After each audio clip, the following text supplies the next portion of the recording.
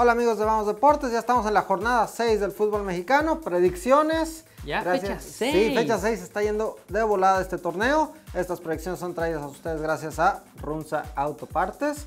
Aldito, Mi hermano, ¿cómo estás? ¿Qué hemos- juego traes el día hemos, de hoy? hemos hablado muy poco de tu equipo favorito en estas Este, predicciones. No, casi- ¿Del Pachuca? No, no, el No, ah, Pachuca, el Pachuca las podemos predecir va a perder. Ah, ok, ok. eh, como está jugando en este torneo. Pero vamos a enfocarnos en el Cruz Azul. Cruz Azul Puebla.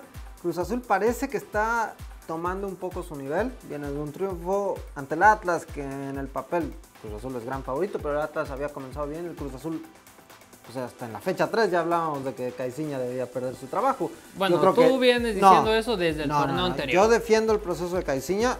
Yo solo insisto que no importa lo que haga Cruz Azul hasta que salga campeón. Pero creo que está empezando a entrar en ritmo. Eh, Cruz Azul debe estar peleando liguilla. Hoy por hoy no están en zona de liguilla. Pero bueno, es muy temprano en el torneo. Siento que contra Puebla, contra un equipo sin técnico, pues ya adiós Chelis. Adiós, Chelis. Pues A ver si llega la cuarta transformación con el Puebla. Lleva tres transformaciones. lleva tres, lleva tres. A ver si regresa la cuarta más adelante, pero ahorita por lo menos está fuera el Chelis. Así es, mira, yo creo que el, el Cruz Azul tiene como la mesa servida para poder seguir en ese camino ascendente. Bien lo comentaste, derrotó al conjunto del Atlas, lo hizo de gran manera. Reapareció Milton Caraglio con un doblete. Orbelín Pineda anotó. Se vio bastante bien el Cruz Azul, pudo haber metido 4 o 5 goles, al final se quedó con la victoria. Pero me parece que el Cruz Azul poco a poco está tomando este ritmo, buen fútbol, buen funcionamiento.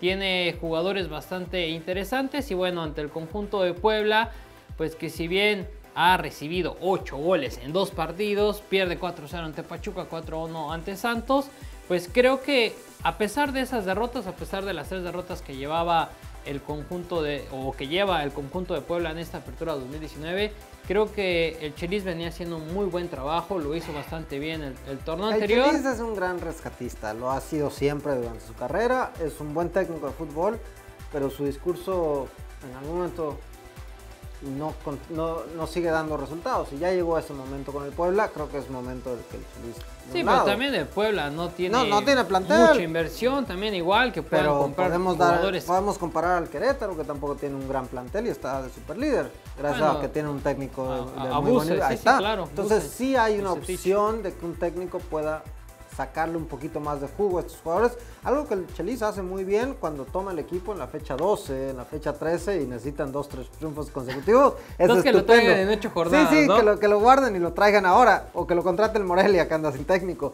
Pero bueno, yo creo que el Cruz Azul tiene a modo un triunfo. en eh, establecer una racha de victorias. Creo que es lo que le, le ayudaría al Cruz Azul a empezar a pelear los puestos de arriba. Hoy por hoy los veo un paso o dos pasos atrás de los grandes favoritos. Claro. Pero es un equipo de liguilla, sin duda. Y si llega enrachado, es un equipo muy peligroso en la liguilla. Una victoria del Cruz Azul. Sin duda, Sin eh, celebran los cementeros en el Estadio Azteca. No anticipó ningún lleno, ni mucho menos. No, no. Ni, claro ni, no. ni dos, ni la mitad. no Ah, nada, 10 mil personas. Ahí está, esa es la predicción de Aldo. Pero ahí está, entonces los dos nos vamos con triunfo de Cruz Azul. Caiciña celebra en el Ángel.